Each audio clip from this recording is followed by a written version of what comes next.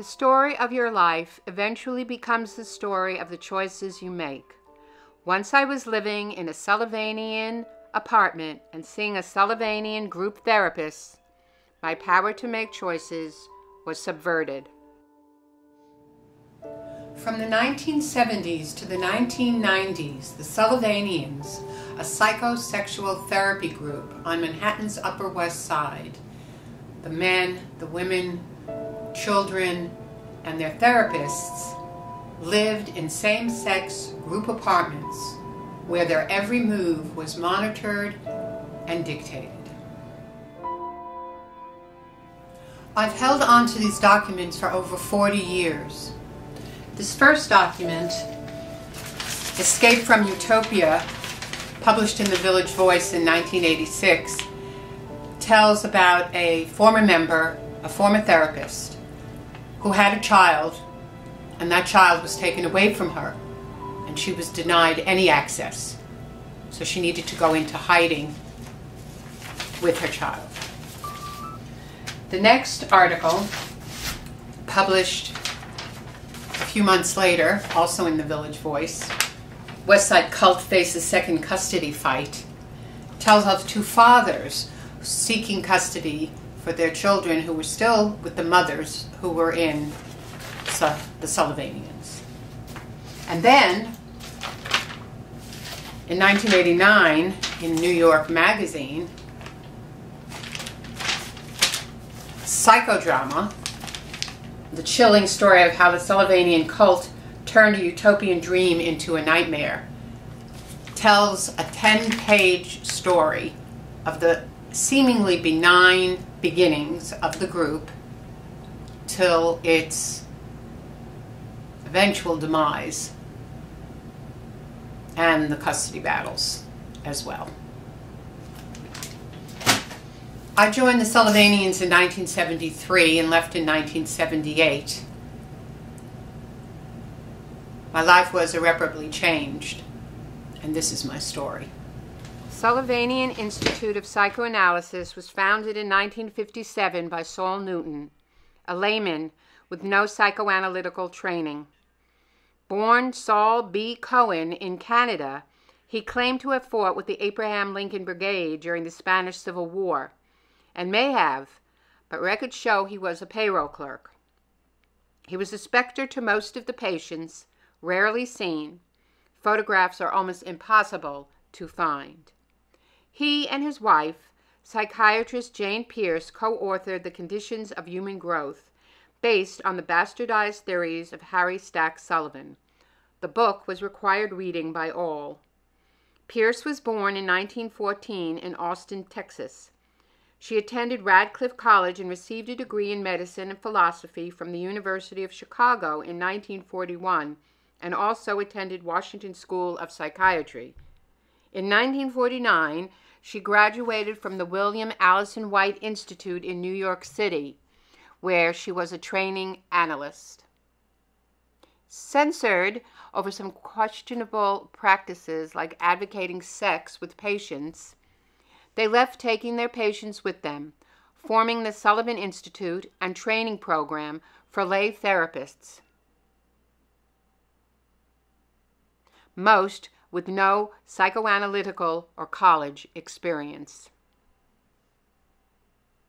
At first, Newton and Pearce sought well known and creative individuals because they believed artists would have the best chance of changing their lives and also the best chance of influencing others.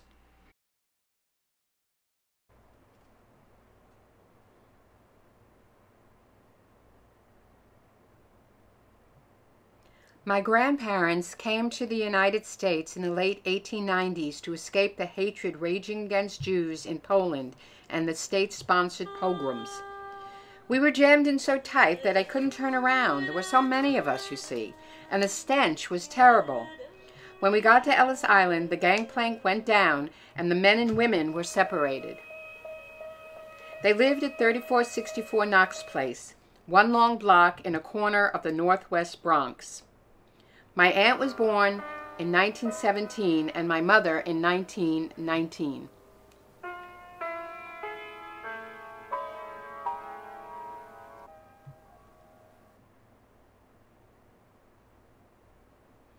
This is my grandmother at the beach in the Rockaways and my grandfather at Morris Stein's bar mitzvah.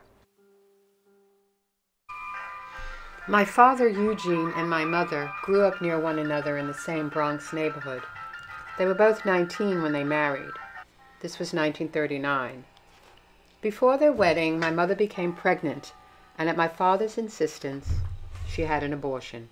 He didn't want to start the marriage with a child, he said. When World War II broke out, my father was certified 4-F, something he found easy to fake. My sister Carol was born in 1943. A few years later, my parents separated, then reconciled, and I was born in 1947. My mother caught my father with another woman at a party, and they were divorced in 1949, an event that shook the family. I was two years old.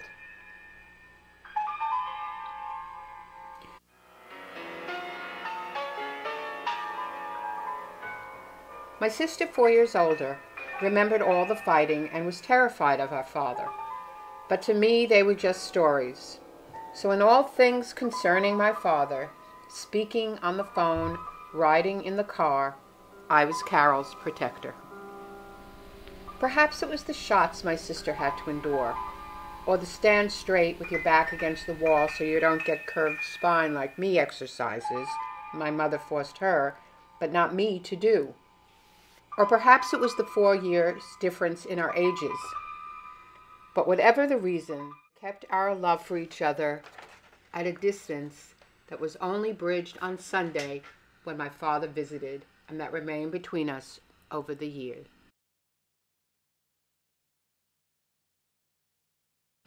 It was somewhere around this time that my mother began to date her boss, Charles Hipsher, who owned his own real estate firm.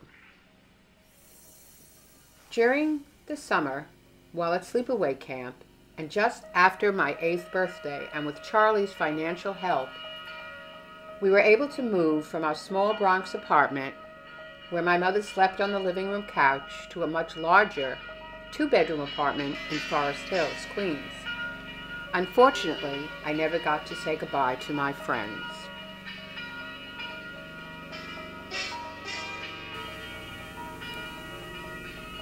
For a long while, Charlie was the father I needed. Carol was a teenager and preoccupied with her friends, so Charlie seemed to belong to just me. On his first visit to our new apartment, my father arrived in a Cadillac convertible the color of a just minted copper penny. I had daydreams of driving to Jones Beach in his new car with its soft white leather interior and white top that could be folded away like an accordion with the push of a button. But that dream never came true. After a month, my father's visit stopped altogether. With only random explanations, he was busy, he needed to spend time with his new wife and stepdaughter. I eventually stopped asking questions, but every night I'd lie awake in the dark, staring out the window at the ever changing red and green traffic lights twinkling across Willow Lake. I'd stare at those faraway lights until my eyes grew heavy, and then in the twilight before sleep, I'd fly out the window to follow the ribbon of cars along Grand Central Parkway to Long Island to ask him why.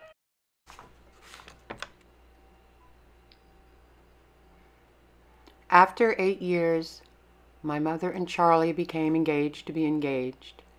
But then the arguments began. This went on for a month, when a box arrived at our apartment wrapped in the familiar brown and white plaid of Saks Fifth Avenue.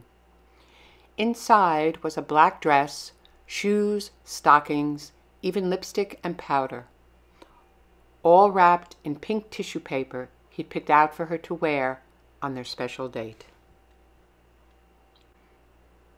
But in the end, I learned that Charlie wanted me to go to boarding school. To my mother, it was still a man's world, but she refused to compromise on her children. Her decision was unimpeachable. She refused to send me away. Charlie disappeared from our lives failing to recognize that he could no longer control my mother.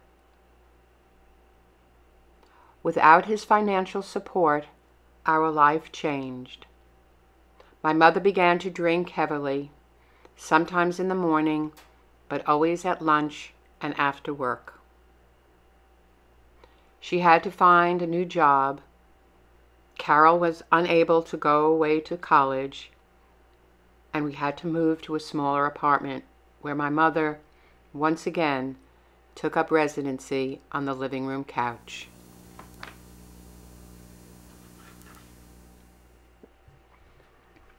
My involvement began in the fall of 1973. I was enrolled in a BA program in fine art at Queens College. The group was at its zenith with over 300 people. It was a time of great excess, alcohol, Valium, and no holds barred sexual experimentation.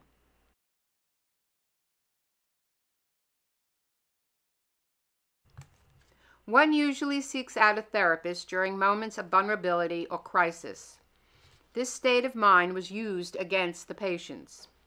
The nucleus of Sullivanian power lay within the dynamic formed between the therapist and patient. Everyday life decisions were given over to the dogma of the therapists, who, in turn, were controlled by Newton. Most of the patients were young people in their 20s and early 30s who were directed by their therapists to live together in same sex apartments, renting large pre war apartments on Manhattan's Upper West Side. The self referencing term, the group, was born. Expanding on the revolutionary ideas of the 60s, Saul's vision was of a vanguard party, banding together like minded patients who developed a distorted sense of their own importance. We were told that the family, and particularly the mother, who they equated with the duplicitous Lady Macbeth, was toxic and crushed individual growth and creativity.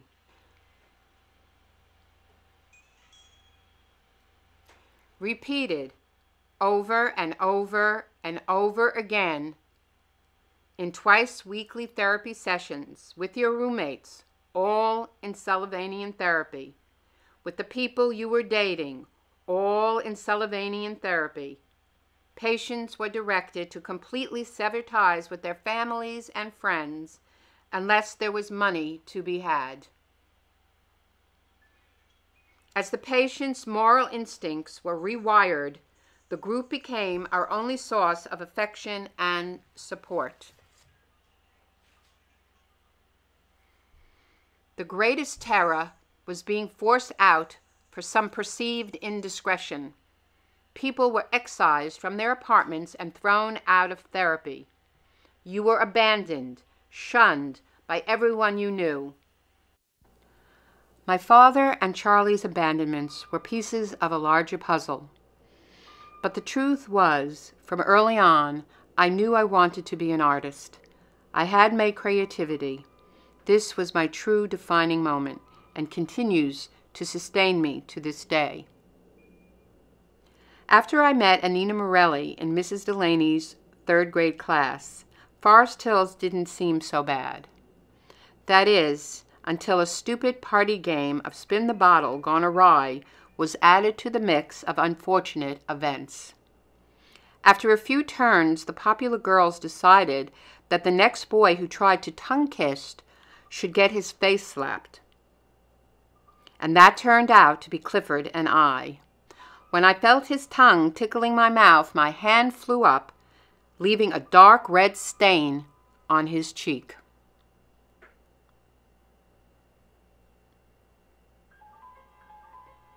To this day, I don't know why I did it, except that I desperately wanted all those things I said I didn't care about. To be liked, to be popular, to be accepted. The following Monday, the slap was the number one topic on the school's gossip hit parade, and I was a pariah. I didn't make it into the accelerated class, I didn't go to the sixth grade prom, and in July, Anita's family moved to Ridgefield, New Jersey. When junior high began, I had no friends, and I was given a sealed envelope from my mother. I ripped it open, and the words spilled out. They wanted me to join a group for underachieving students with high IQs. I tore the letter into tiny pieces and flushed it down the toilet. Anita and I decided to cut our shoulder length hair before we knew she was moving. We wanted a more grown up look for junior high school. But Anita's thick, smooth hair was decidedly better suited to the short, layered bubble cut than mine. I spent my days and nights throughout junior high school and high school doggedly trying to remove every kink and curl from my hair. Every six months I suffered through burning chemicals, and every night I slept with my hair wound around scratchy wire rollers. Trying to hide the dandelion fuzz under a scarf was useless. There was always some pimple faced boy who would taunt me, It's raining, it's pouring. I soon found out that no matter what I did, my hair would forever be a barometer, frizzing out of control when the humidity went above 50%. I just stopped going to school on rainy or humid days until the truant officer showed up at our door. I graduated six months late and again missed the prom and the graduation ceremony.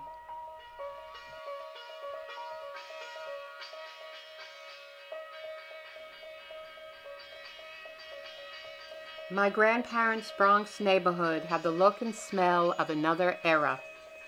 Pushcarts on the sidewalk and Shmuel the pickle man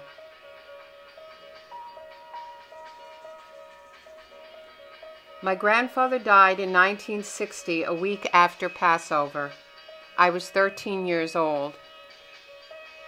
According to Orthodox tradition, the burial took place without delay. He looked asleep in the simple pine box, but for the coins pressed against his eyes to keep his soul from flying away. We sat Shiva in my grandparents' apartment, life drained from its walls at week's end.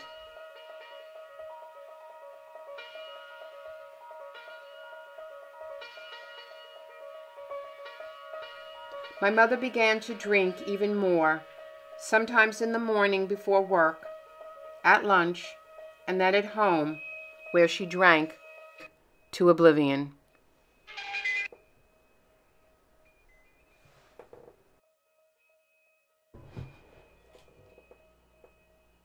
My sister married and moved out, and my mother moved from the couch into the bedroom, a night's table's width away from me. This arrangement continued for the next five years. Close proximity caused an indelible stain on our relationship. The stale smell of alcohol and her snoring in the next bed kept me glued to a spot before the television until four in the morning. I needed to be drunk with fatigue before attempting sleep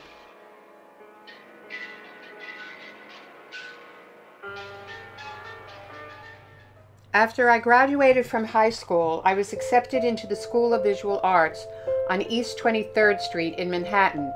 Still living with my mother, home was becoming more and more intrusive and claustrophobic. The two of us living in a pocket, our only privacy, our secrets. My mother was dating again, and sometimes I'd come home late at night to the smell of booze and sex. I wanted to find a roommate and move out, but my mother took this as rejection why would I leave when I had a perfectly nice rent free place? Leaving wasn't going to be easy, but I needed to go. Greg Hoffman and I met at the School of Visual Arts. We were in many of the same classes. He lived with his parents in a two family attached house on the service road of the Long Island Expressway. Rumor had it a woman's body had been found in the underbrush of the expressway's shoulder across the way.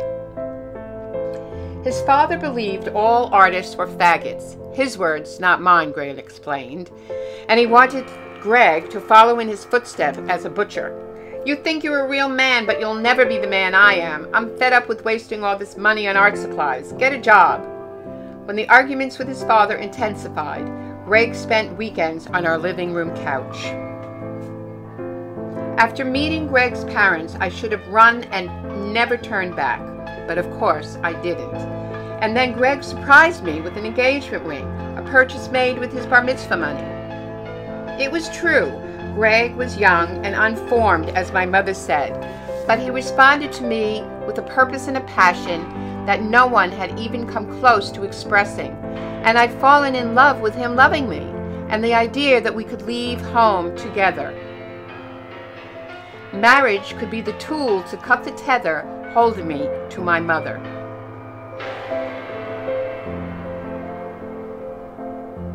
We married in a small ceremony at my grandmother's shula, and though we didn't understand a word the rabbi said, it all seemed oddly appropriate.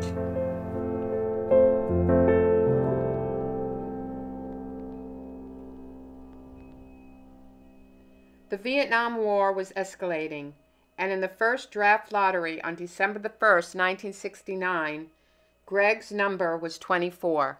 Not good. He stayed in school hoping to forestall the inevitable.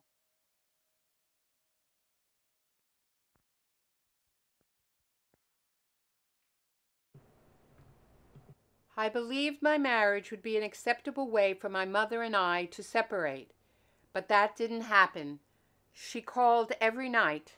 Not answering wasn't an option. I couldn't do it.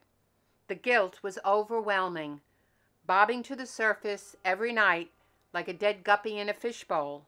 And the conversation was always the same. Why did you drop out of school? And the answer was the same. I took a leave so Greg wouldn't get drafted. Might do him some good, straighten him out. Move in with me, and I'll give you the bedroom and I'll sleep on the couch, and then you can both go to school. I found a good job at an advertising agency.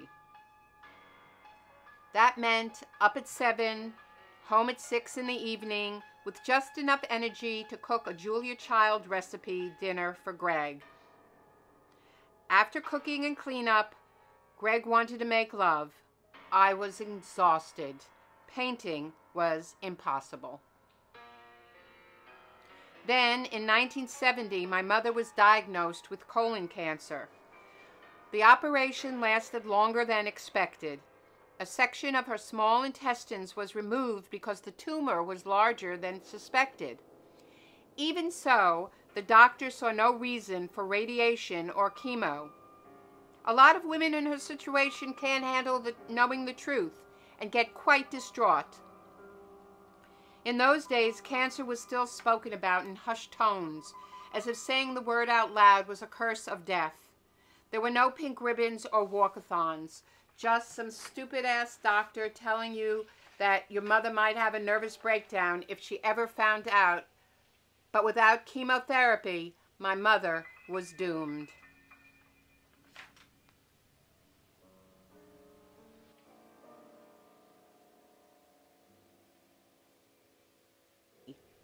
And then Greg got a letter for a physical.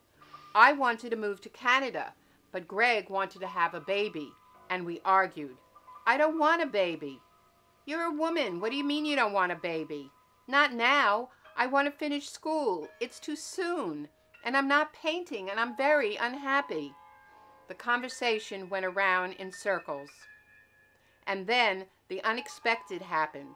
Greg and his father reconciled. He quit school to work in his father's butcher shop. The marriage disintegrated, and then I found out I was pregnant. My mother thought a baby would give me something of my own, but I always had something of my own my art, my painting.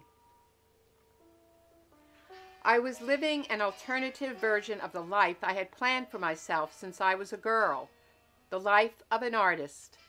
Ambivalence danced in my head for weeks, but in the end, I realized it wasn't just the pregnancy.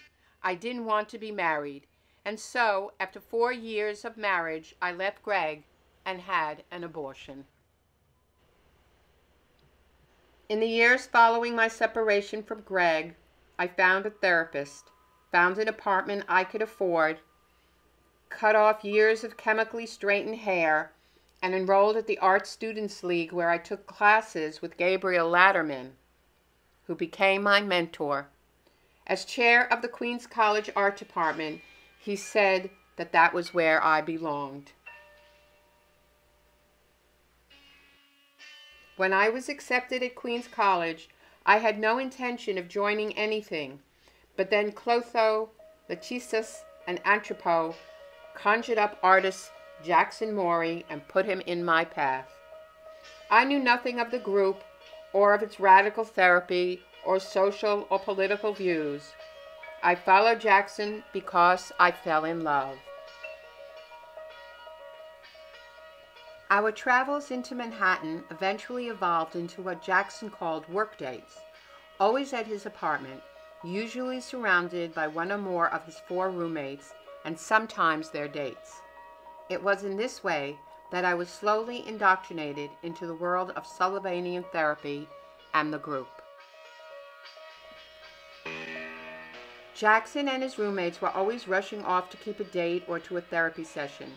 Two sessions a week was mandatory. Every Sullivanian kept a date book to keep track of their appointments. No one seemed to want to spend time alone, and like his roommates, Jackson had no contact with his family. Sullivanians rarely dated outside the group, but when they did, they were directed to indoctrinate that person and bring them into therapy.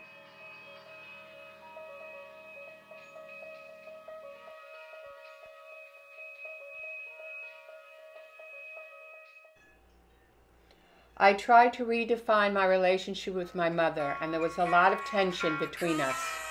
She didn't support my return to school. She hated the natural look of my hair and let me know it on every occasion. And then, with my therapist's urging, I contacted my father. It had been nine years since our last visit. My mother was furious and lashed out. It had been her idea that my father stop visiting. She said for weeks and months at a time he'd miss our Sunday visits. Carol, my sister, was scared of him. So my mother gave him an ultimatum keep to the schedule or just don't come. Of course, he could have refused, but he didn't. I felt shattered. Was that why she drank so much? Keeping this secret must have been a tremendous burden. My life was based on a false sense of reality. Doubt and mistrust seeped in. I felt betrayed. Jackson was the graduate assistant in my color class. Our work dates soon became sleepover dates. He brought me a date book, and the only name in it was his. The weeks turned into months. Jackson said he loved me, and I loved him too. Ignorant of the Sullivanians' unique approach to holidays, that all the apartments spend the day with their roommates, I had assumed we would spend Thanksgiving together. Jackson had a suggestion. I could spend the day with his friend Donna and her apartment, and three other women's apartments, as one more woman wouldn't make a difference. I was still shaken from my mother's disclosure about my father and I didn't want to go home for Thanksgiving, even if I spent the day alone. Jackson suggested I use his room to call my mother, and that's when he explained another group practice. The person calling home chooses someone to listen on the extension for moral support. This way, the conversation could be heard by an impartial third party. Even though the whole thing sounded so odd, my indoctrination into the Sullivanians had begun without me being aware. Jackson watched me with keen expectation, and I said yes. My mother began to shout the moment I told her I was going to miss Thanksgiving because of schoolwork. What's gotten into you? What was I going to do instead? Is it this new boy you're seeing? I couldn't believe Jackson was hearing all this, and I began to feel nauseous. Her responses were making me angrier. He's not even Jewish, and you're talking nonsense. And then she turned to an even uglier place. I was like my father. He was cold, and she never realized just how cold I was. Jackson's room shifted like a Rubik's Cube. You hate him, and you're saying I'm like him? I begged her to stop. I was a good daughter, and you know it. And just because I don't want to come home for one fucking Thanksgiving, I'm a shitty daughter? I'm nothing like my father, and I wasn't coming home for Thanksgiving. I need a break, and I'll call you when I'm not feeling so angry. And I'm gonna hang up now. Don't you dare hang up on me! This is not allowed, she screamed. I better see you on Thanksgiving, she yelled louder. Don't you dare hang up! We're not through with this yet. Don't you dare! I hung up to the sound of my mother shouting my name one last time.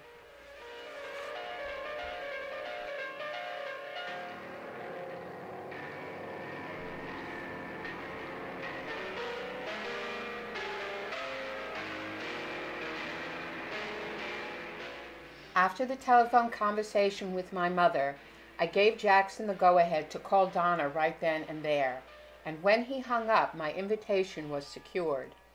Believing this to be a one off adventure and a strike for independence, the day actually marked a point of no return. All the women knew about my situation from Jackson and thought how brave of me to spend the day with a bunch of strangers. After two hours preparing the turkey and fixings, I was told everyone was heading uptown to a pre dinner party at another Sullivanian apartment. One of the rooms had been emptied of furniture, and at its center were two undulating circles of dancers. In the group, no one danced alone. Men and women holding hands and moving any which way bobbed up and down to the deafening music emanating from gigantic speakers. Whoops and screams punctuated the air, and I felt in danger of being consumed by this giant human amoeba. Then Donna broke the circle and dragged me in beside her. Two hours later, in downtown once again, a bit drunk and woozy, and without ceremony or prayer, the Thanksgiving bacchanal began. There was a multitude of women, brown haired, blonde, red headed, chubby and thin, tall and short, with glasses and without, all carrying colorful platters and bowls of food. Many of the women I met that day formed the nucleus of the people I would date throughout my time in the group. There were double and triple amounts of everything, followed by crescendo of desserts, chocolate cake, brownies, gingerbread, and pies, all dripping with whipped cream.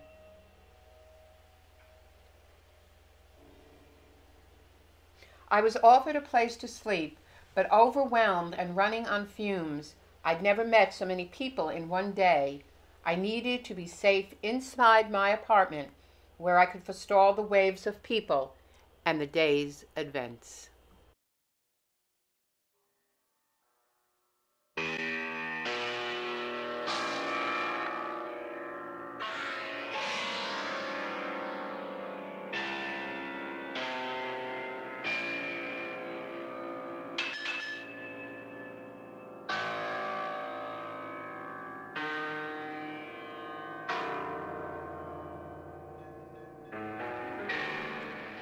My Thanksgiving with the group might have become a minor footnote in my life, but my sublet was unexpectedly and prematurely ended.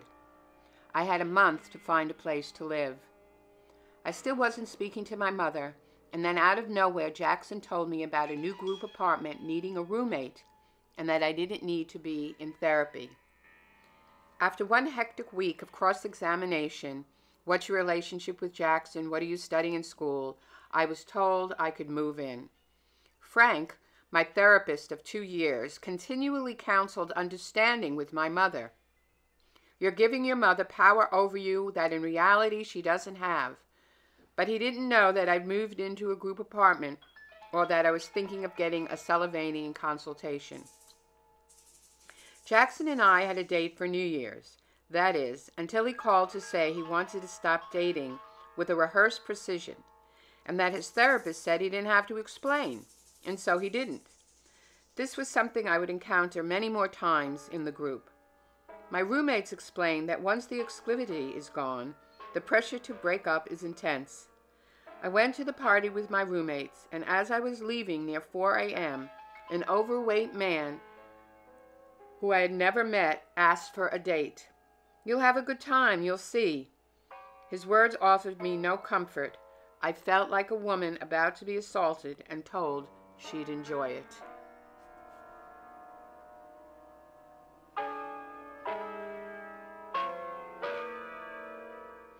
One week later, I saw Herb Trachtenberg, one of the five psychologists of the Sullivan Institute, for a consultation. He concluded that my mother was a vindictive bitch and I needed to have two sessions a week. I was referred to Freddie Small, a trainee. At my first session, I was told to call around to the group apartments to see if they needed a cleaner, as my expenses were going to increase. My rent and food costs had doubled and there were going to be dues for the summer house and a summer car.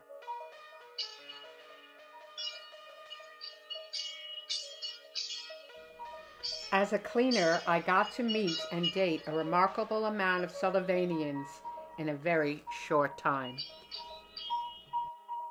As for Jackson, he left the group shortly thereafter. Before the group, I had had sex with five men.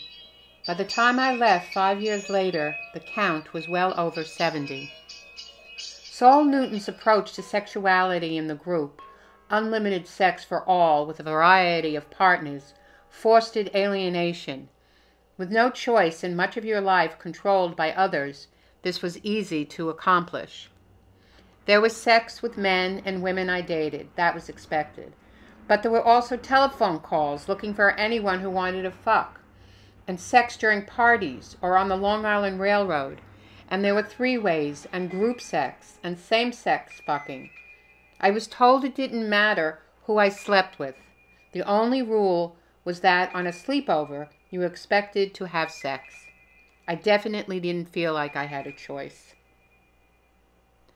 Some of the therapists went to the dark side, betraying the trust given them by engaging in sex with their patients. One therapist told her patient to have sex with Saul, her husband at the time. Newton was more than 70 years old, and the patient complied for fear of being kicked out of therapy.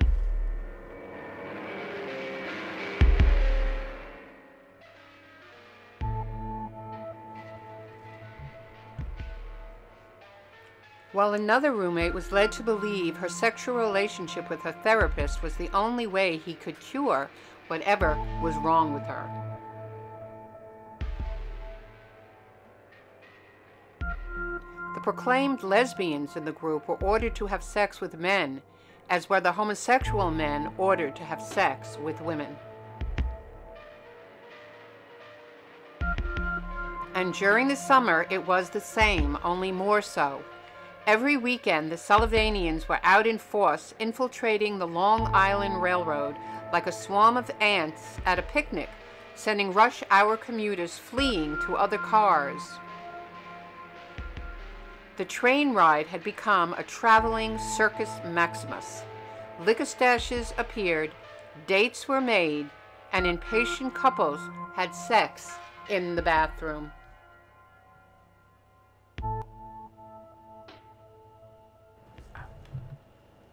When the trainee program began in the late 60s, the trainees followed Saul to Amagansett, and then the patients followed the trainees.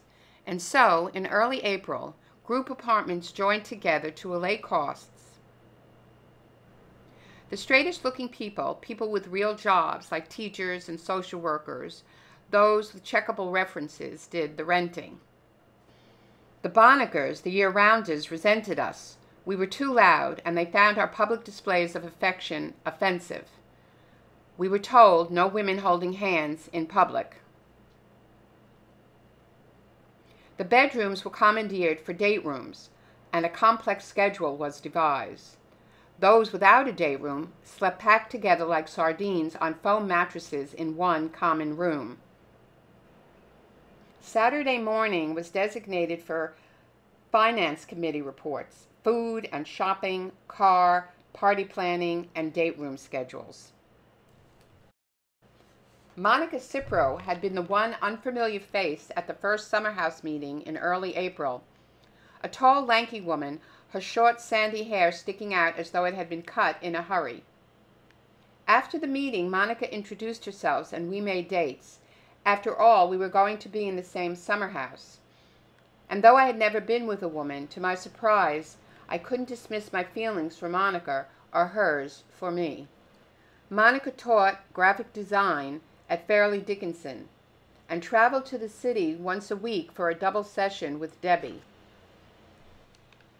I was still deep into the Sullivanian belief system and I wanted her to break from her family, take a full share, and come out to Amagansett more often.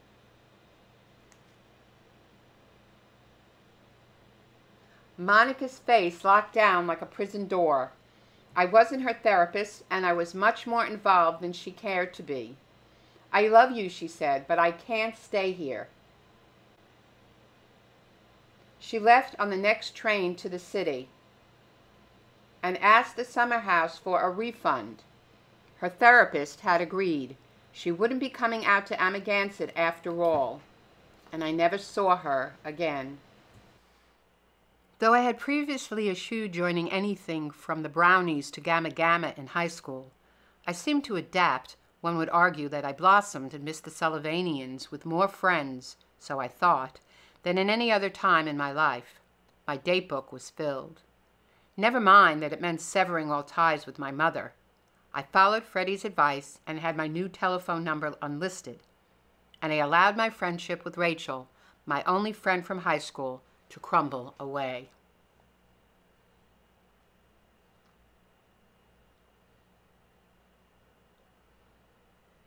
I'd been cleaning apartments, breathing in cat scurf for weeks, when the rattle started in my chest. I was allergic but in my desperation to find a place to live, I had forgotten about the cats, and all my roommates had cats. And the cumulative effect felt like someone was playing kick the can in my lungs. By evening, Doris found me in my room, doubled over, gasping, and called her therapist because Freddie was away. Her therapist instructed Doris to take me to the emergency room at Mount Sinai where I was immediately shot up with adrenaline. Over the course of the next five hours, I was given eight booster shots. To my surprise, when I awoke, Freddie was in my apartment. The cats had to go. It was touch and go for a week whether my roommates were going to choose to live with me or their cats, but in the end they were directed by their therapists to choose me. Growing up, pets were problematic for my mother. After taking Angel to the ASPCA, we got a puppy, but it ate one of her shoes. We had a rabbit and a canary and a parakeet, but they were all too messy. No wonder you have asthma, Freddie exploded at my next session. Your mother wouldn't let you be close to another living creature. She wanted you to stay at home and not succeed. She didn't support your art because she was jealous, afraid that it would take you away from her. Your mother never cared about you. She's a psychopath. Look at how she kept your father away, just so she could be in complete control. It wasn't surprising that after the summer my apartment broke up. With the flip of a coin, Doris and Kathy were gone, and Liz, who was new to the group, and Aggie, who I'd met on Thanksgiving, moved in. This was Liz's first group apartment, and Aggie, who had a reputation as a bully, had no sympathy for Liz's nostalgic musings, especially when she'd pass around her white brocade wedding album at house meetings and speak of her life before Sullivanian therapy. I'm tired of hearing you talk about how great your family is. From what you said, your family treated you like shit. Forget them already. Aggie hammered on.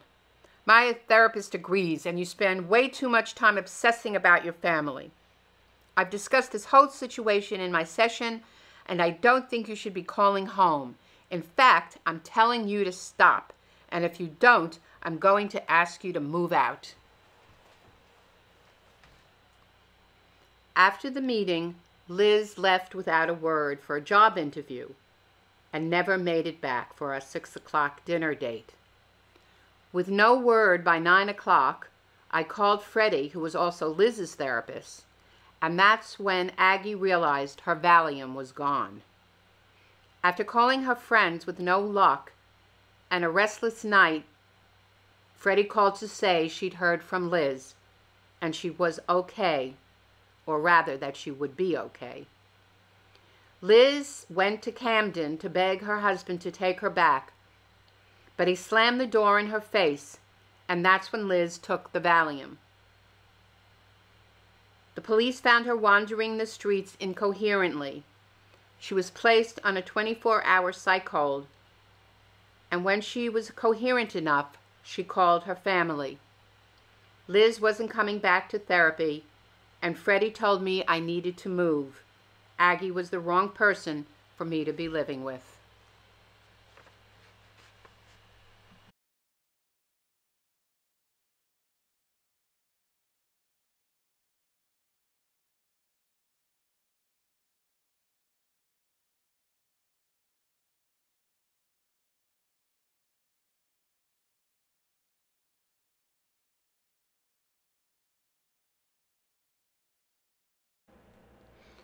Taking Freddie's suggestion to heart, I announced I was moving out before I had a place to go. And though nothing was simple or easy to arrange in the group, everything seemed to move very quickly. Once I remembered Laney's apartment at 490 West End Avenue had a junk-filled maid's room. I begged them to let me move in, and after a jam-packed week of dates with each of Laney's roommates, and of course consultation with the various therapists, it came to pass. 490 West End Avenue would be my home for the next two and a half years and my happiest time in the group. My room was tiny, but the women of Laney's apartment were a much better fit than Doris and Kathy. The senior member of the apartment was Maria Elena Lang, an adjunct professor of archaeology at Pace University. She was writing her dissertation on the people and customs native to Sierra Leone. In a year, she would travel there to do her field work. But it would be Annie Steinberg who would have the most effect on me. She was 10 years younger and smart, working towards her BA in sociology at Hunter College. But she was a hardline Sullivanian who fervently believed in the group and was singularly responsible for my expulsion from the apartment three years later. Perhaps it was her history, which was bizarre even by group standards. Her mother had been Saul's patient since the early 1960s before the group existed. He directed Annie's mother to bring her young daughter to psychotherapist Ron Ellman, a founding member of the Institute. Annie recounted her years of therapy while sitting on Uncle Ron's lap until the day she turned 16 and was summarily shipped off to boarding school. Her grooming had begun. Years later, when Annie returned to New York City, the training program was in full swing. Her mother was living elsewhere, and Annie became convinced the training program was a radical departure from the therapy she had known, the vanguard of the future. Annie began seeing a trainee and moved into the apartment with Laney, and then her mother returned. Moving into a group apartment herself, often showing up at parties. Annie donned an impenetrable armor. Rounding off the apartment was Serena Ballamente, a beautiful woman who was an anomaly in the group. She was a go-go dancer when she joined, but stopped shortly afterward at her therapist's urging.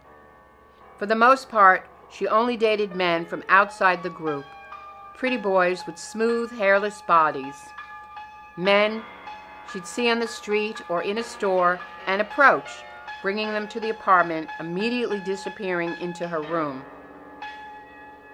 with its own bathroom, sometimes for days, reappearing only for food, her own food, which she kept labeled and stored separately on a refrigerator shelf.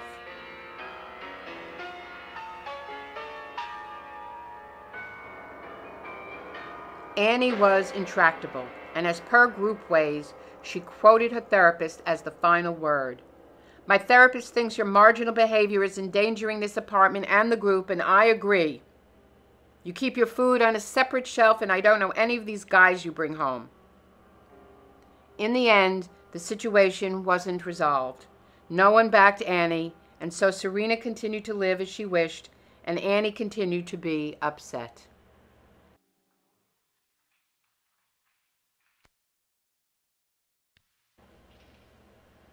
Freddie quit the trainee program, and I was referred to Pegeen McDermott, who had a reputation around the group as a scatterbrain. And just around the same time, Laney announced she was moving to another apartment.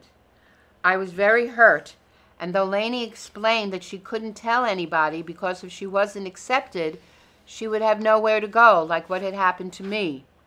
And of course, her therapist agreed, the ultimate stamp of approval. I moved into Laney's much larger room, but I never got over feeling betrayed and we stopped dating. Two months later, Serena moved to a group apartment where her life choices wouldn't be challenged. And just as I was getting used to Pegeen, she left the training program too. The Institute had received an official warning by the licensing board. It seemed that anyone without a college degree had to return to school. Freddie and Pegeen both left, and I never saw them again. Ironically, I was referred to Debbie Wilson, Laney's therapist. And a month later, I got a letter from my Aunt Hannah at my old apartment. My darling, it began, your mother is very sick and wants to see you. We all love and miss you. Faithfully yours. I showed it to Debbie, who told me to ignore it, and I did. On May 9, 1975, my sister called to tell me the cancer had come back and our mother had died.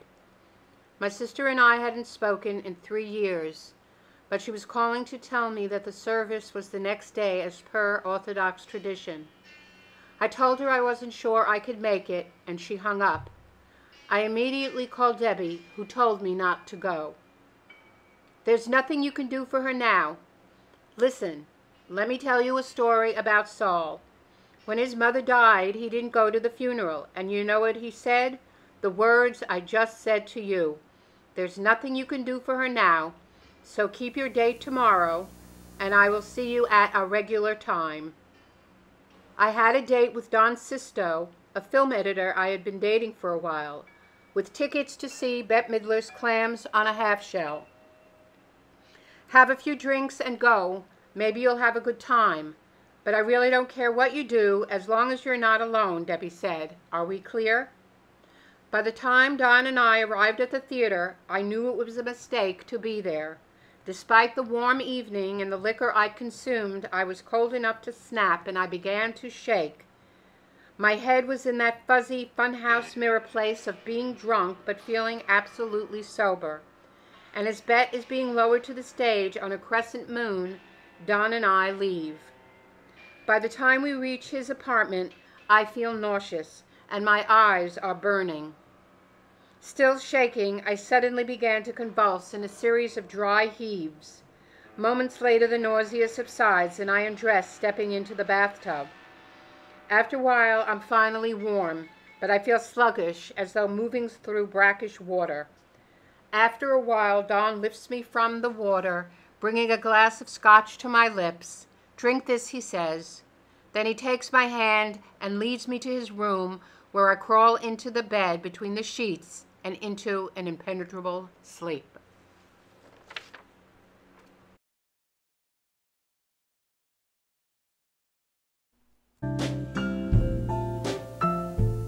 I didn't realize it at the time, but my mother's death marked a turning point for me in the group, like a bell curve, with her death at the apex. 1975 also marked the emergence of small Marxist classes in the group. These classes were taught by Daniel Weissman, an author and college professor who had served as Che's economic advisor. An old friend of Newton's, they supposedly had fought together in the Abraham Lincoln Brigade. Weissman was a highly sought after lecturer. We were all very excited about the prospect of being taught by someone who had lived the struggle. But when the therapists, the trainees, and the people they dated were given first priority, the group elite, we were told we would have to wait. Annie was so angry about being shut out that she and Maria Elena formed a Marxist group of their own. Maria brought in Stephen Berman, a colleague from Pace with a very good reputation, to teach Introduction to Marxism. After two classes, we were all very pleased with Berman's teaching technique. He made it all very accessible. But then Annie called an emergency meeting of the class without Berman, not a good sign. It seemed her therapist, Beverly, wanted us to fire Berman. We could do better. Annie was insistent that we follow Beverly's directive. This was Annie in her most intractable. I'd seen it before, and I knew it was futile to argue with her, but I felt bullied. What about his contract? I asked, hoping to forestall her arguments. I'm sure that we can get out of it. We'll offer him some severance pay. I trust my therapist, and she's assured me that she can get us someone connected to the group. And that should be good enough for everyone here. We're the vanguard party, we need to be watchful of who we invite into the apartment. So once again, I'm asking the group to terminate our relationship with Stephen Berman. With the therapist gets involved, the inevitable happened, and Berman was intercepted on the street the night of the next class and paid for his time. Eventually, Daniel Weissman was available to teach our class, but the episode gave me pause. I lost interest in the Marxist class and dropped out. Debbie left the Institute, and it was rumored she had a psychotic break. Teams of men from the group were sent out to find her, and they did, on the street, soliciting, and she was placed in psychiatric care. I was referred once again, therapist number four, Stan Arnold, an older, pasty faced former history teacher who is now part of the new Risen from the Ashes trainee program. My referral to a man I didn't respect was another push toward the downward slope of the bell curve. I was embarrassed to tell anyone he was my therapist. It was like wearing a sign that said, This is what Saul thinks of me, and I don't rate. Maria Elena left for Sierra Leone. We got a new roommate, another push down the bell curve, and I was accepted into the MFA program at Brooklyn College, an evening program.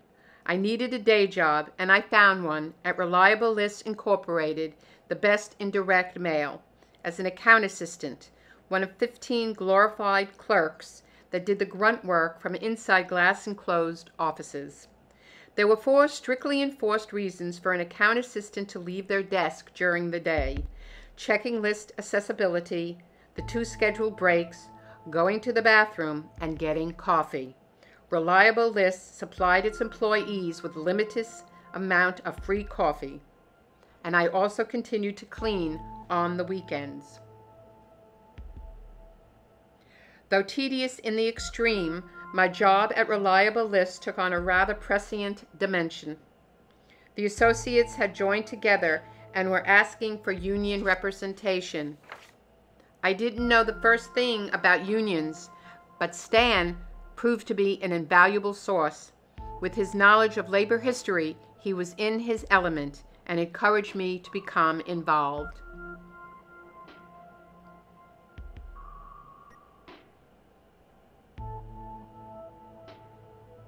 Not only did I sign the union card, but I also became immersed in planning and strategizing, missing many house meetings in the process and putting Annie on the offensive. Your absence is counterproductive to the apartment, which should come first, she said over and over after I'd missed one too many house meetings.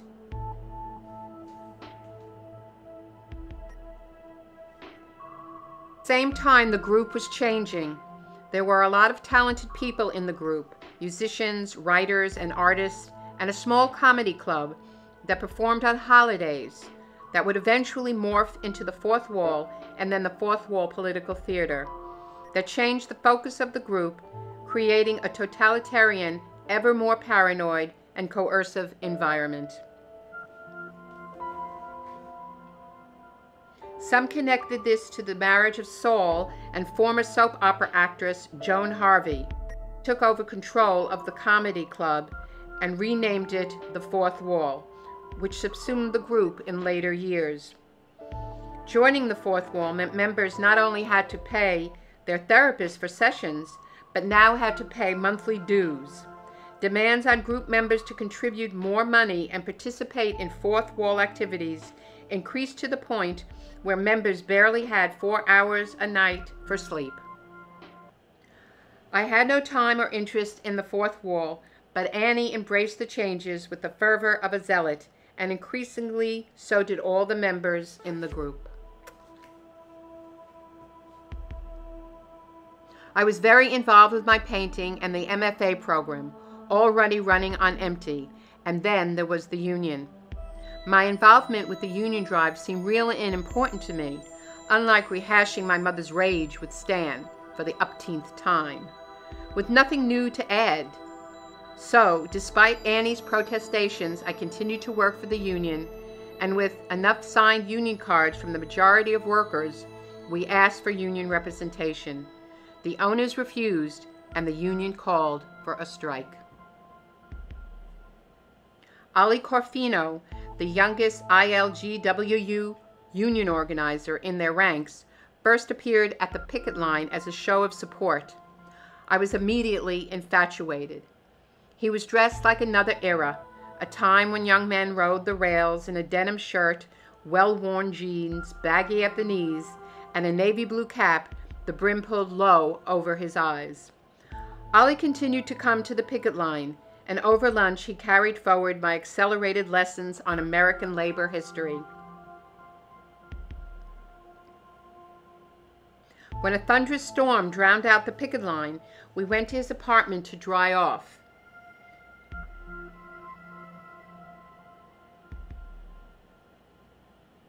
Once there, he rolled a joint, and though it was forbidden, I didn't hesitate, nor did I hesitate when he kissed me and in that moment I realized I'd been slowly starving myself of real affection. I broke all the Sullivanian rules that night. I told Ollie about the group. You talk about getting in and getting out of therapy like you're in prison, he said in response. And it was true. But with this one rebellious act, I was set to reclaim myself. I stayed the night, but I had to break my date with Annie, who was unforgiving. Eventually, she used it as evidence of my disenfranchisement from the group.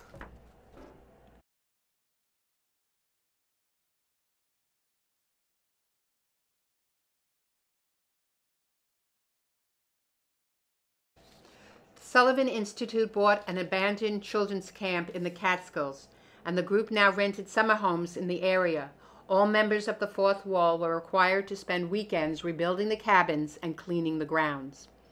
I didn't join a summer house that year, nor did I ever join the Fourth Wall, lending credence to Annie's tacit disapproval of me personally and my relationship with Ollie. I was a threat to everything Annie believed.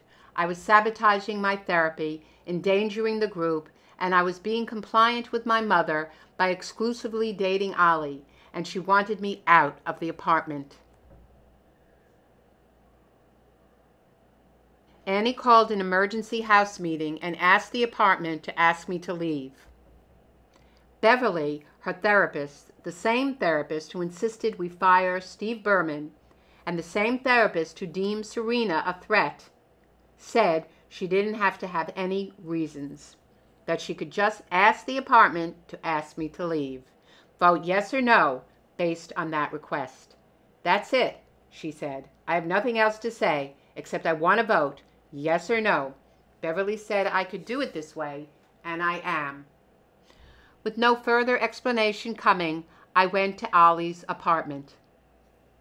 I had asked to be heard, for more of an explanation, but Annie refused. With Beverly's backing, there could only be one outcome, and it came three hours later. It was official. Sarah, the new roommate, called. It was unanimous. I was voted out of the apartment for the safety of the fourth wall and the group, and that I needed to work out my problems somewhere else. I had one week. A new group apartment had formed on the 12th floor of our building. It was a mismatched assortment of discards.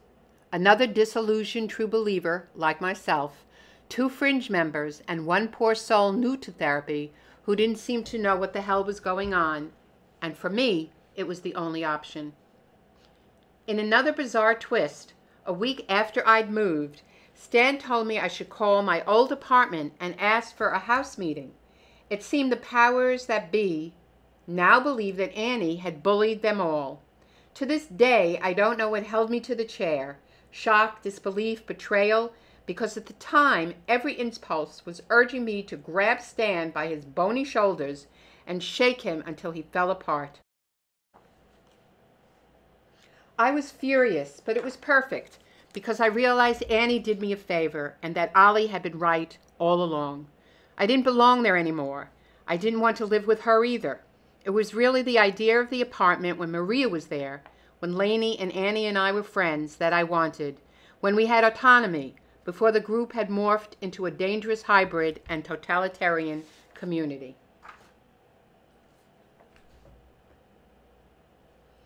Ollie saw the group for what it was.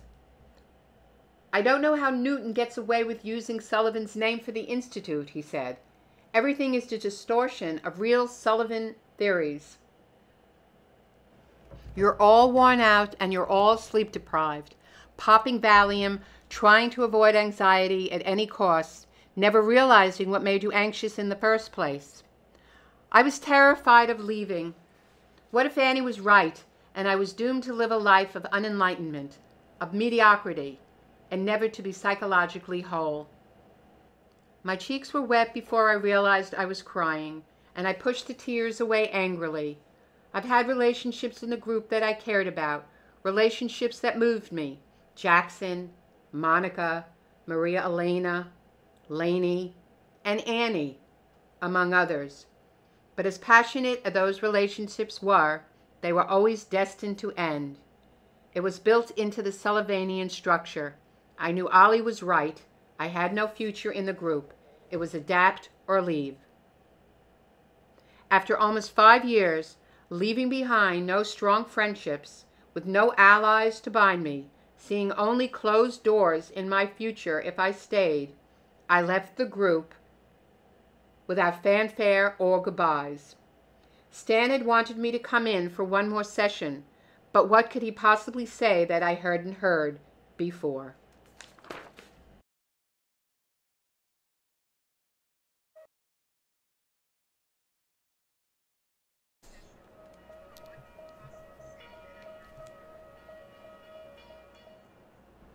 I received my MFA in June, but with no teaching prospects and no money or knowledge of the unforeseen events to come, I continued cleaning group apartments for almost a year.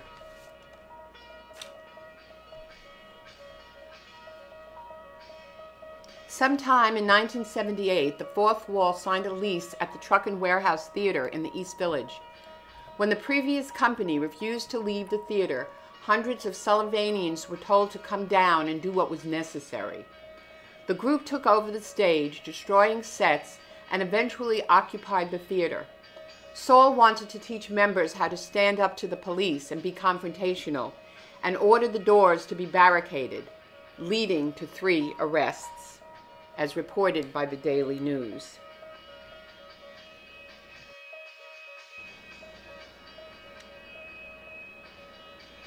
On November 18, 1978, Congressman Leo Ryan of California and several of his party were shot on the airfield in Guyana in what became known as the Jonestown Massacre.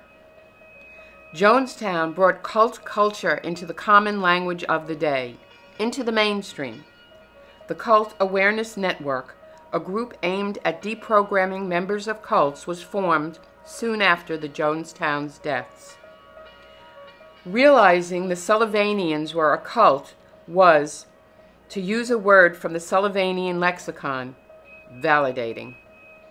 March 28, 1979, a partial meltdown of reactor number 2 of Three Mile Island Nuclear Generating Station in Pennsylvania and the subsequent radiation leaked caused an irreversible panic among the group elite, dangerously altering the trajectory of the group until its demise years later. Though the first reports downplayed the seriousness of the accident, as the afternoon wore on and the truth was revealed, a macabre hush blanketed the streets of Manhattan. The governor of Pennsylvania ordered the evacuation of all pregnant women and school aged children within a five mile radius of TMI. I tried to reach the two group apartments I cleaned for to say I wasn't coming without success. I tried repeatedly for 10 days with no answer and without contact from anyone. On day 11, I decided to use the key I had been given and see for myself what was going on and hopefully get some answers. The moment I opened the apartment door, the combined odor of sour milk and urine hit me in the gut like a fist. The kitchen was the source. It was a mess. Plates encrusted with rancid food sat on the table, and the sink was piled high with dirty dishes. It looked as though everyone had been obliterated right in the middle of eating. You could almost hear the forks dropping to the floor where they lay on the soiled newspapers. Several glassy eyed dogs appeared from hiding, starved for human contact and food. I held my breath and hurriedly poured out some dry food and refilled several pots with water. There was no note and no money, and I left, spooked by the scene. Two days later, I was finally contacted. My services were no longer needed. I was told to drop off the keys with the doorman and there would be an envelope waiting. However, the second apartment, a brownstone on West 89th Street, asked me to drop off the keys. As I climbed the stairs, surprised I hadn't been blindfolded, I couldn't help but notice the strange goings on taking place. Television monitors had been installed in the pantry. The screens were flashing barometer, wind, precipitation readings repeatedly. LA, Chicago, Miami, San Francisco, and New York.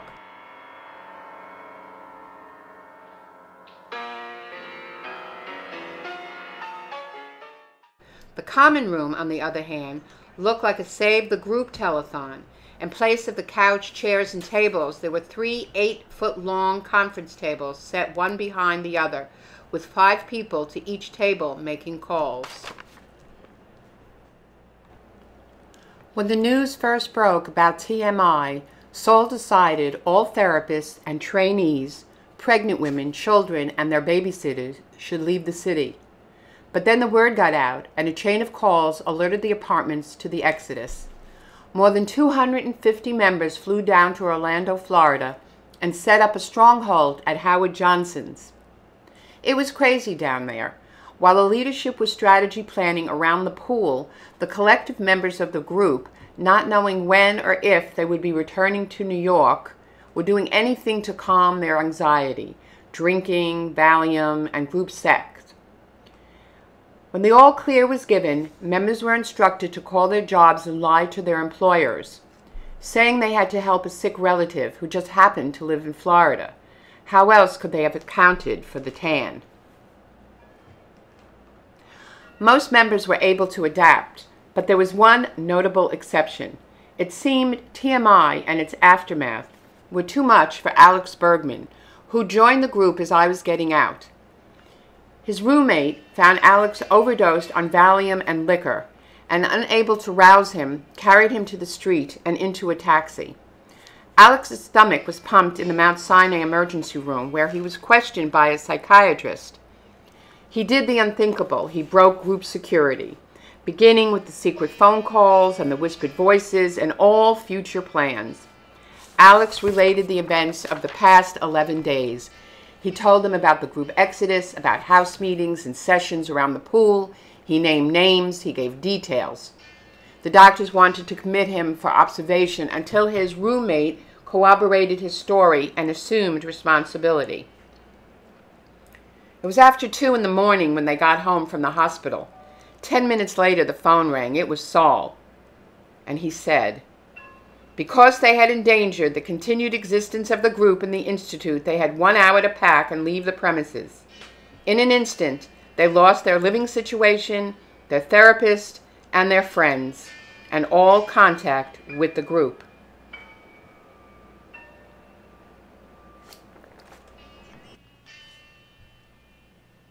In the aftermath, a secret steel lined bunker with quarter inch plates was built at the camp so that Joan Harvey could edit her film without interference from the CIA. A fleet of school buses and motorcycles were acquired in case of a similar dire emergency, and an escape route that included the leadership's children transported in off road motorcycles and an emergency communication system were created. Every member had to comply providing personal contact information for every hour of the day. This became the new norm.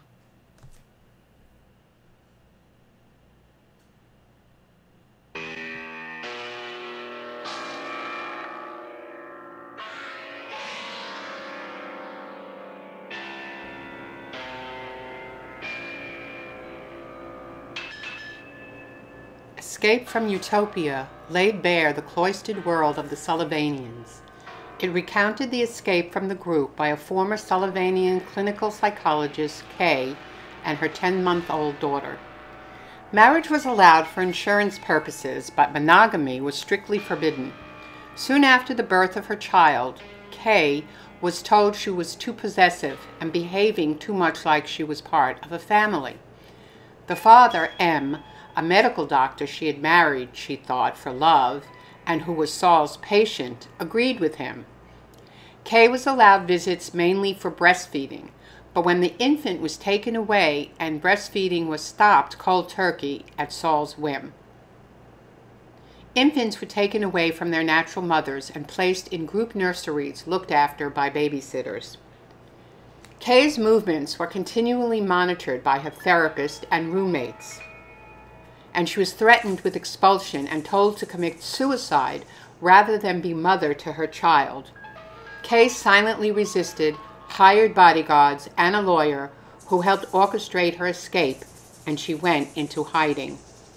On the day of the custody hearing, the judge was informed cars were circling the courthouse with Sullivanian group members communicating to one another on walkie talkies.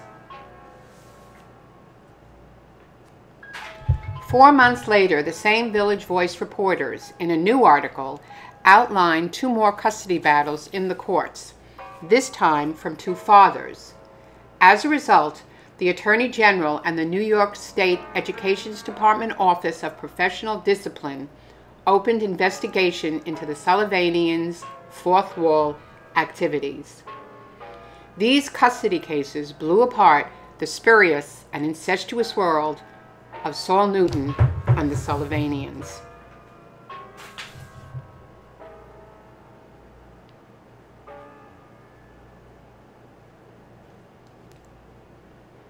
Joan Harvey continued to write plays charged with thinly veiled Sullivanian tenets that were aimed at luring in new members with the promise of a utopian communal lifestyle. Seats were filled by distributing free tickets and all the performers were unpaid members of the Sullivan Institute. Reviewers cited the plays as impossible to sit through, with little complexity or aesthetic originality.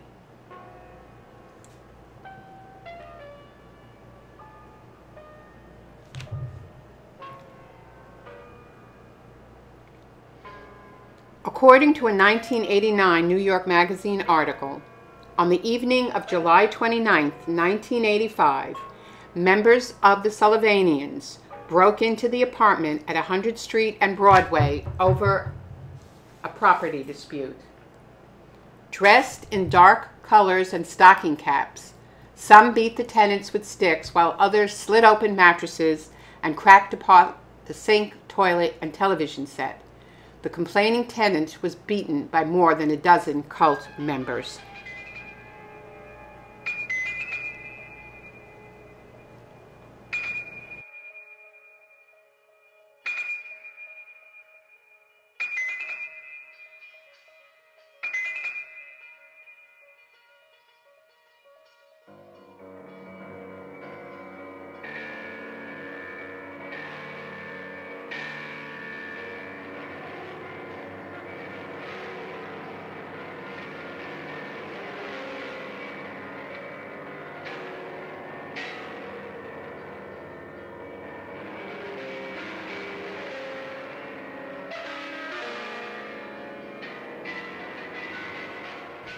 Saul Newton's physical and mental health quickly deteriorated, leading him to become even more erratic.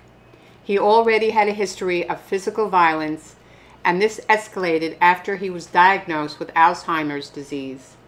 He was gradually removed from the leadership of the community, and membership rapidly declined. By the time of his death,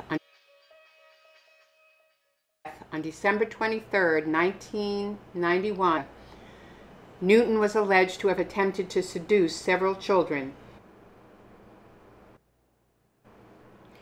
It took me years to unravel the effects of the group and find the confidence I had before surrendering my autonomy to the Sullivanian hive.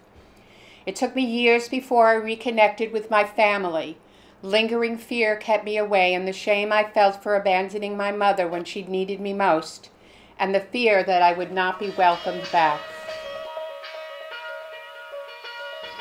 My Aunt Sylvia was the conduit. She accepted me back unconditionally, and I was invited to my nephew's bar mitzvah.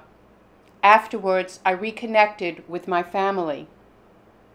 On the way home, I purchased a yahrzeit candle and placed it near the window and struck a match for my mother.